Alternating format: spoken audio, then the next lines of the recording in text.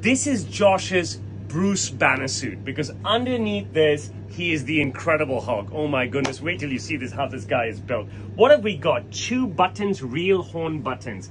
Narrow fish mouth lapel with my dot, dot, dot, dot hand needle and thread stitching. Accent color on the buttonhole. Barchetta breast pocket with a curve and kick. There's the peak of the pocket square. He's stacked in my signature details. Look, my new look. One flap out, one flap in. That's a Singaporean way overlapping buttons, fully functional cuffs, raw mother of pearl button at the end. Accent color there. You don't like the pearl? We make it disappear. I am Houdini. He is gift wrapped. Oh my goodness, gift wrapped in my 4D fit. Let me open this gorgeous Chinese boy up.